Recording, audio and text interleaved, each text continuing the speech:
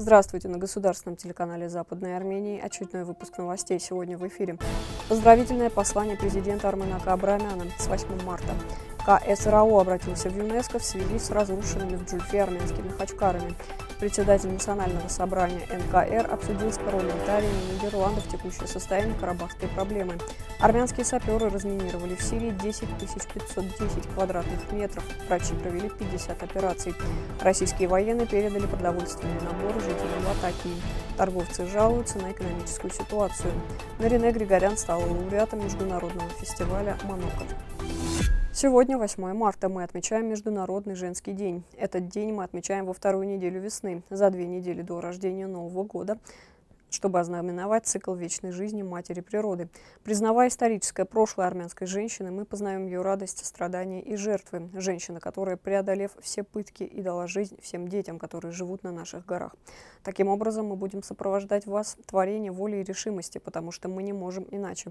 Вы пылающий огонь нашего существования. Арменак Абрамян, президент Национального совета Западной Армении. Координационный совет российско-армянских организаций обратился к генеральному секретарю ЮНЕСКО госпоже Одри Азуле. В период с 1998 по 2005 год в Азербайджане на территории Нахичеванской автономной республики в прошлой части исторической Армении вблизи города Джульфа, старая Джуга, имело место целенаправленное уничтожение кладбища с установленными там тысячами средневековых армянских надгробных памятников хачкаров. Согласно Международному совету по сохранению памятников и достопримечательностей ICOMOS, западным СМИ и армянским источникам уничтожение старинных памятников армянской культуры было инициировано властями Азербайджана. Все находившиеся на армянском кладбище Хачкары были разбиты людьми в военной форме с помощью тяжелой строительной техники. Крупные обломки надгробий с помощью кранов загружали в вагоны и вывозили по железной дороге, вероятно, для последующего использования в качестве строительных материалов. Более мелкие обломки памятников были погружены в грузовики и сброшены в реку Аракс. Само же кладбище в Джуль Джульфе, которое было одним из наиболее грандиозных памятников армянской культуры, превращено в стрельбище. Между тем, армянские хачкары в 2010 году были включены в ЮНЕСКО, специализированное учреждение Организации Объединенных Наций по вопросам образования, науки и культуры, в список объектов нематериального культурного наследия человечества. Ныне общепризнано, что армянские хачкары являются шедеврами мирового искусства. Крупнейшие музеи мира считают за честь иметь в своей коллекции хоть один хачкар. До разрушения армянское кладбище в Джульфе являлось крупнейшим в мире сохранившимся средневековым кладбищем хачкаров. В начале 20 века там насчитывалось около 6 тысяч хачкаров. Спикер Национального собрания Арцаха Ашот Гулян 5 марта встретился с группой депутатов Палаты представителей Нидерландов. Встреча была организована при поддержке председателя Федерации армянских организаций Нидерландов Мато Ахвердяна. Как сообщили новости Армении News.am, в пресс-службе Национального собрания Арцаха, выразив благодарность за прием, Ашот Гулян подчеркнул, что в последние годы парламент Арцаха установил партнерские отношения с рядом европейских стран и межпарламентскими организациями и впервые встречается с представителями законодательного органа Нидерландов. В завершении встречи, отвечая на вопросы участников, спикер парламента Арцаха коснулся текущего состояния и перспектив урегулирования Азербайджана-Карабахского конфликта, экономического развития Арцаха и ряда других тем. Армянские саперы в Сирии с 19 февраля по 7 марта разминировали 10 510 квадратных метров. Об этом сообщает пресс-служба ГНКО, Центр гуманитарного разминирования и экспертиз. За указанный период врачи оказали хирургическую помощь 50 пациентам, терапевтическую помощь 100 пациентам, провели 160 клинических, биологических и гормональных анализов. Напомним, что группа состоит из 83 специалистов, саперы, врачи и личный состав, обеспечивающий безопасность. Гуманитарная помощь оказывается в населенных пунктах Ле-Мения, Диман, Разм, Аль-Хулу, Алеппо. Помимо этого, один врач ежедневно включается в группу саперов.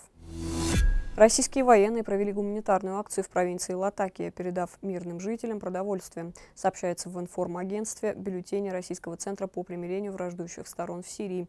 За минувшие сутки представители Центра по примирению провели одну гуманитарную акцию в населенном пункте Хафа провинции Латакия.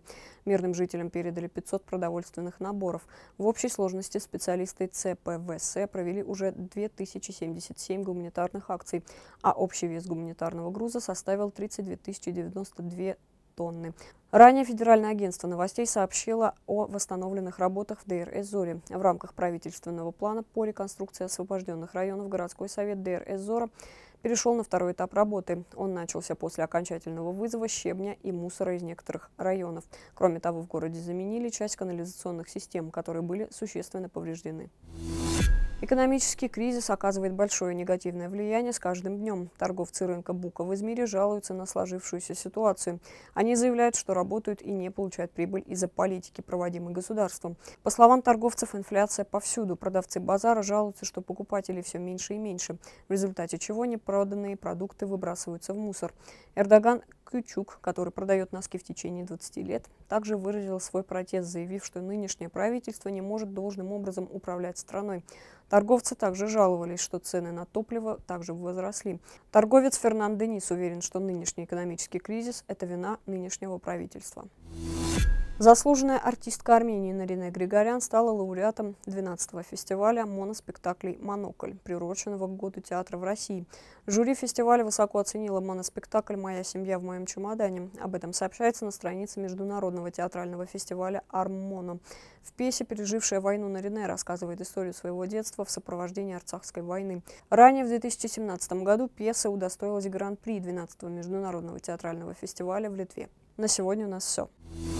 Далее мы представим вашему вниманию Рубен Матавосан.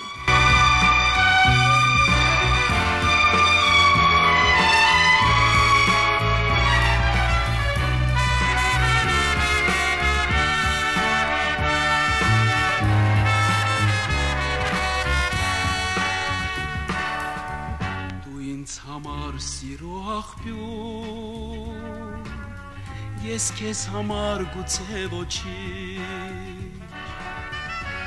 ինձ համար երազմակու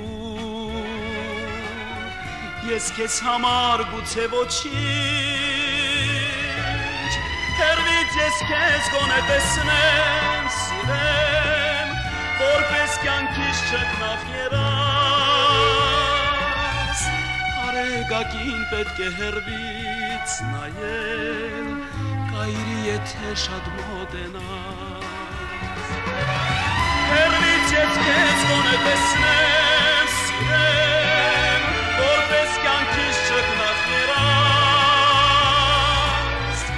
Полная версия видео представлена на официальном сайте телеканала Западной Армении. Оставайтесь с миром.